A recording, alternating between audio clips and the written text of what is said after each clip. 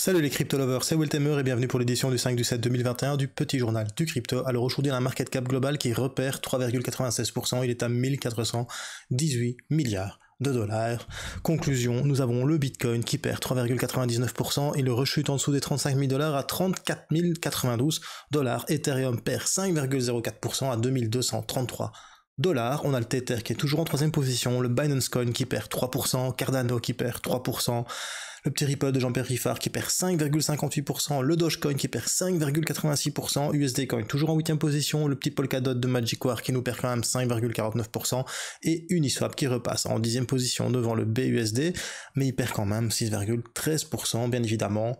Toutes les crypto-monnaies, tous les altcoins suivent la tendance du roi des crypto-monnaies, le Bitcoin. On va regarder s'il y a un top gagneur du jour. Et oui, regarde ça, Synthetix nous fait un petit 26,09% avec 57,47% en 7 jours. Comme quoi, il y a toujours des cryptos qui sont là pour pumper. Il y a le Elron Eagle qui fait 10,16% et 42% en 7 jours. Il y a Qcon Token qui nous fait 15,82% en 7 jours et 9,86%.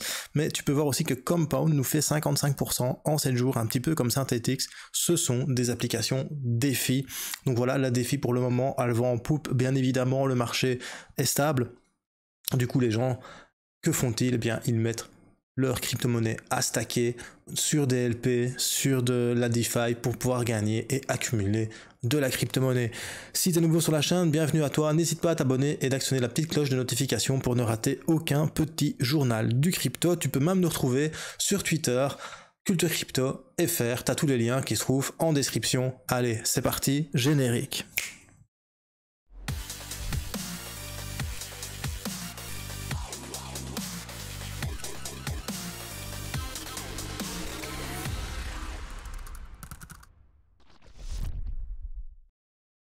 Alors la première news du jour, c'est une news que tu trouves sur culturecrypto.fr, c'est la, dernière vidéo de Monsieur TK, la fin du minage des crypto-monnaies, est-ce pour bientôt? Après le bannissement de la Chine, des ASICs et du minage Bitcoin, que va-t-il se passer?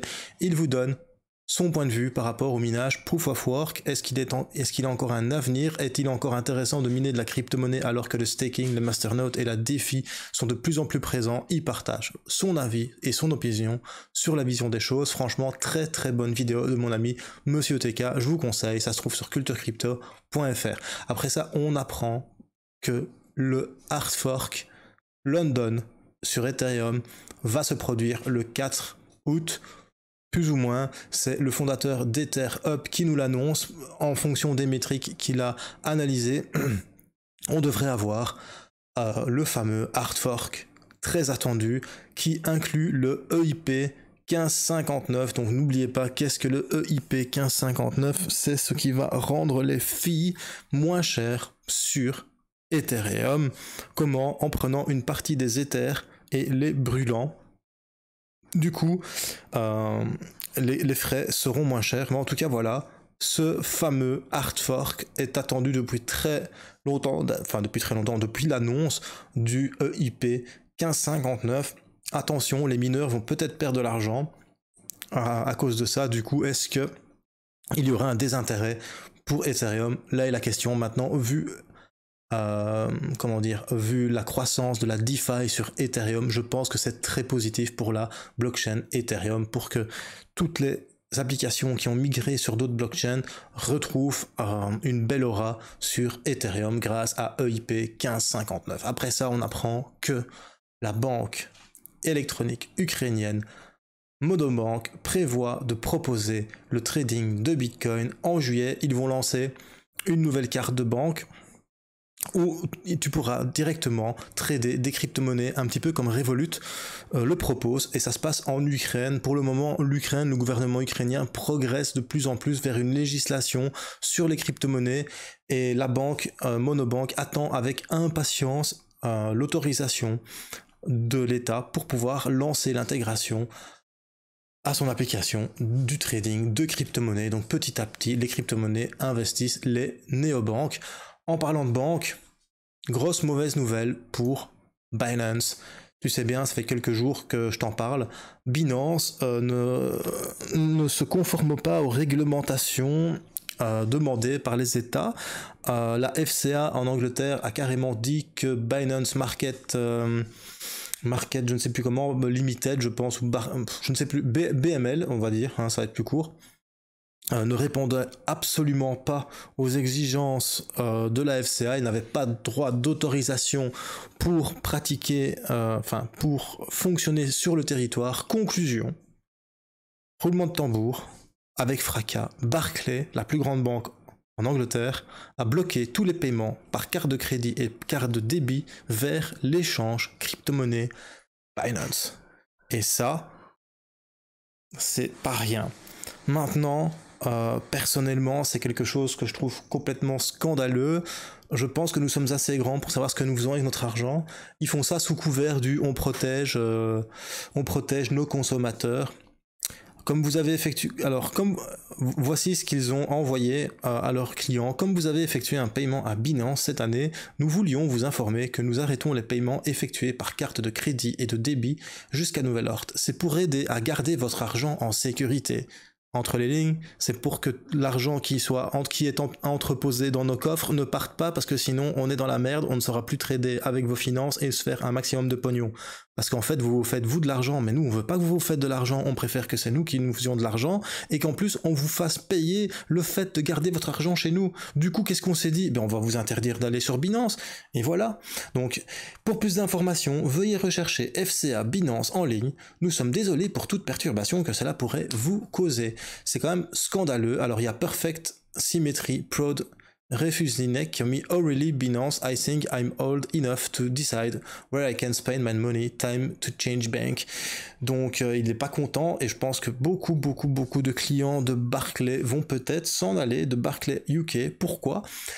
Parce qu'en fait on, on entrave leur liberté, leur liberté de jouir de leur propriété. Alors la propriété euh, en droit, elle a trois caractéristiques principales. La première caractéristique, c'est tu as le droit d'en jouir, tu as le droit de faire ce que tu veux avec ce que tu possèdes, tu as le droit de l'utiliser, tu as le droit d'en percevoir les fruits. Donc il y a le fructus, l'usus, donc l'utilisation, d'en jouir, c'est l'usus, puis tu as le fructus, donc tu as le droit d'en percevoir les fruits. Par exemple, tu as le droit d'investir de l'argent pour en, en tirer un bénéfice et les fruits de cet argent, ce sont les intérêts par exemple. Eh bien, tu as le droit de le faire parce que tu es propriétaire de cet argent. Enfin, tu es propriétaire d'un droit de créance, hein, ne l'oublions pas.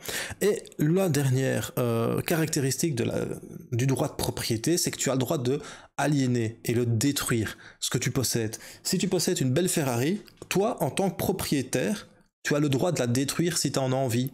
Si ça te passe par la tête de la détruire à la batte de baseball, t'as le droit. Pourquoi? Parce que c'est une caractéristique fondamentale du droit de propriété. Je ne dis pas ça bêtement, je l'ai appris à l'école. un droit des contrats, si ça vous intéresse. Et comment vous expliquer ça? Ce que fait là la banque Barclay UK, elle, elle interdit aux possesseurs d'un droit de créance de l'utiliser comme bon leur semble. Du coup, c'est une entrave au, droit de la propriété. Maintenant, en Angleterre, c'est pas le même droit que chez nous. C'est le droit. Euh, nous, on a le droit qui est basé sur le droit romain, et eux, ils ont le droit qui est basé sur le droit, je ne sais plus comment on appelle ça. Enfin, c'est tout à fait différent. C'est la, common law, si vous voulez. Et la common law. Euh, elle se base sur le précédent, donc sur tout ce qui est jurisprudence. Chez nous, la jurisprudence ne fait pas loi, chez eux, la, jurisprudence fait loi. Chez nous, la jurisprudence, pour un même cas, donne euh, une indication sur ce que peut faire le juge comme interprétation de la loi. En Angleterre, la jurisprudence sursoit toute autre décision.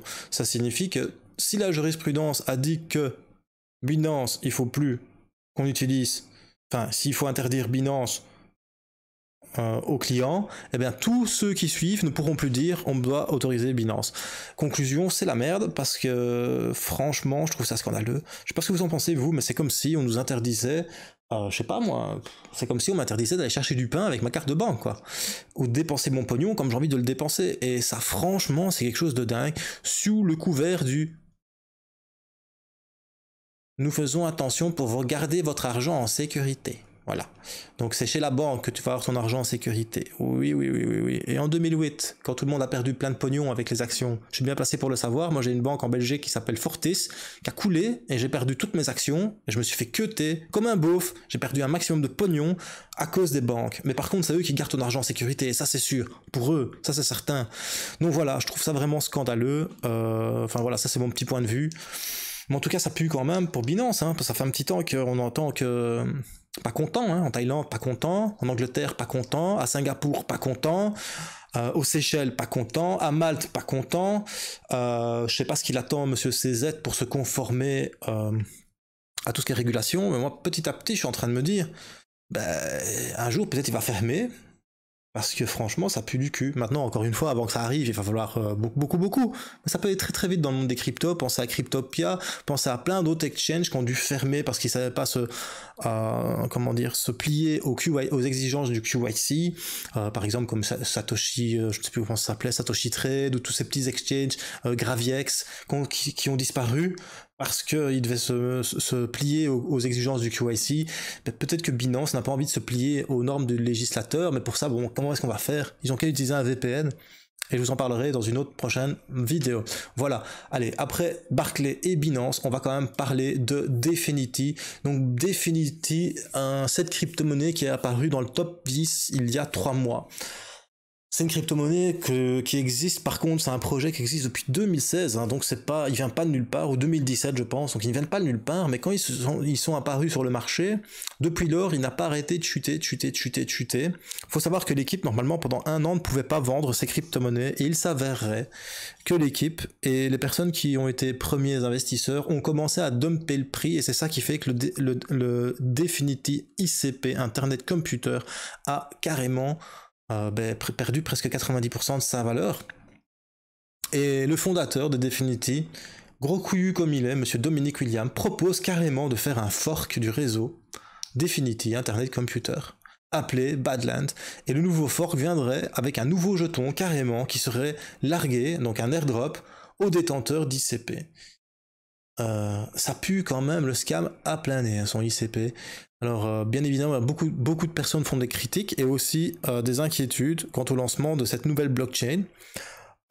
et il y a même un programmeur d'ICP qui interpelle le créateur d'ICP, qui lui dit que c'est comme ce qu'il veut faire, c'est exactement comme Kuzuma et Polkadot. Pourquoi est-ce que ce Badland ne serait pas un, sous-réseau travaillant sur Internet Computer à la place d'être une blockchain spécifique? Ah, ben, c'est quand même bizarre. En tout cas, voilà, la décision reste indécise, mais William déclare qu'il préférerait relancer un nouveau jeton via un hard fork du réseau sous-jacent. C'est quand même space que le mec, ils veulent relancer un nouveau jeton trois mois après que son premier jeton soit arrivé sur les marchés et que ça a dumpé sévère. Moi, je dis, attention, Scamland est là, au lieu de Badland. Faites gaffe, les amis, ICP. Moi, quand j'ai analysé le projet, je pensais vraiment que ça allait être du lourd et que ça allait être du bon. Et au final, ça s'avère qu'ils sont en train de se foutre de la gueule des gens. Pourtant, c'est suisse. Je sais pas. Je sais pas pourquoi, je me disais que c'est suisse, donc forcément ça doit être quelque chose de sérieux. Ben non, personne n'est sérieux parce qu'il est suisse, personne n'est sérieux parce qu'il est belge ou parce qu'il est français. Et je pense vraiment qu'il s'est passé quelque chose de, de, pas très clair euh, chez ICP. Internet Computer. Donc faites attention avec ICP. Moi personnellement j'ai revendu quand j'étais en break-event. Je suis très content d'avoir vendu quand j'étais en break-event.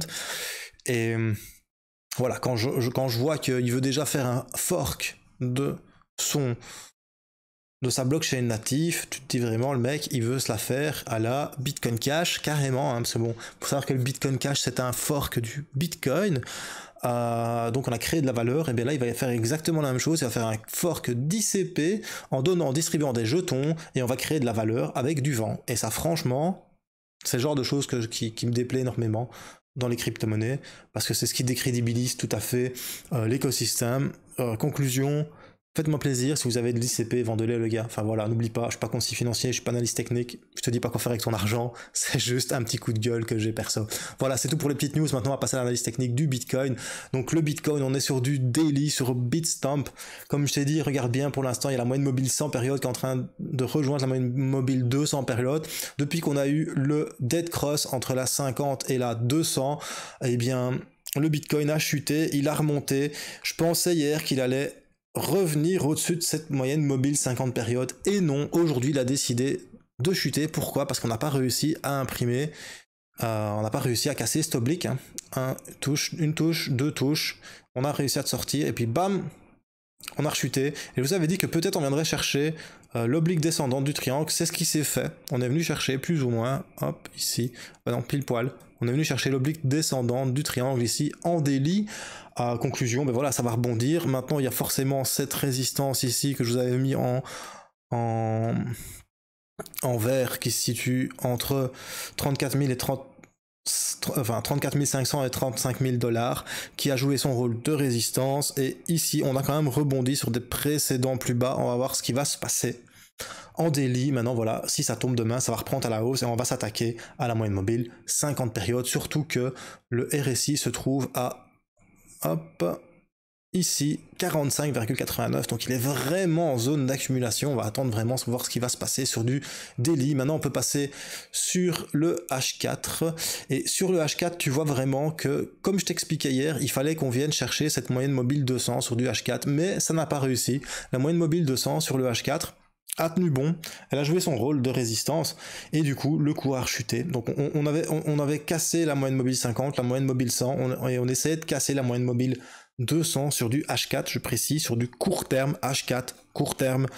Et tu as vu que ben, on a essayé de sortir, hmm, mais on n'a pas confirmé la clôture. On a clôturé en dessous. Conclusion, bam bam bam.